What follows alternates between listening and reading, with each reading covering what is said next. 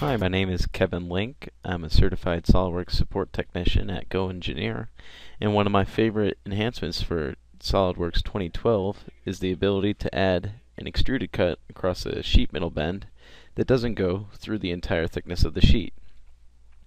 To demonstrate that, I've just got a simple sheet metal part with a bend in it, and I'm going to go ahead and unfold it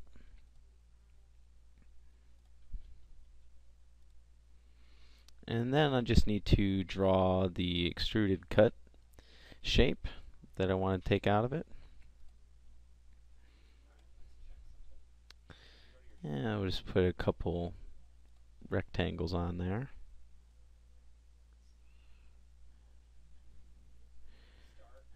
And add some uh, fillets for aesthetics.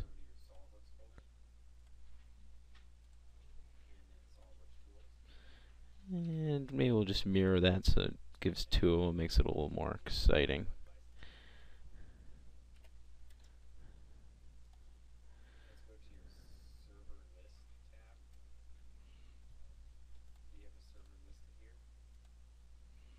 We'll go ahead and accept that, accept the sketch. And we're going to set the depth to be uh, half of the thickness of the sheet, which is 0.05.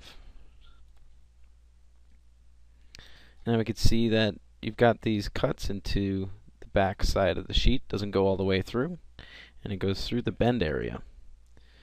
Now we simply need to collect the bends and fold it back up. And you see that now in 2012 you can have extruded cuts that don't go all the way through even on sheet metal bend. And we can even put that on the inside as well.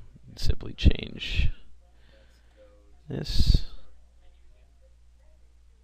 the other way. And you can see you have it on the inside as well. Once again, I'm Kevin Lynk with GoEngineer, and that's been a tech tip for SOLIDWORKS 2012.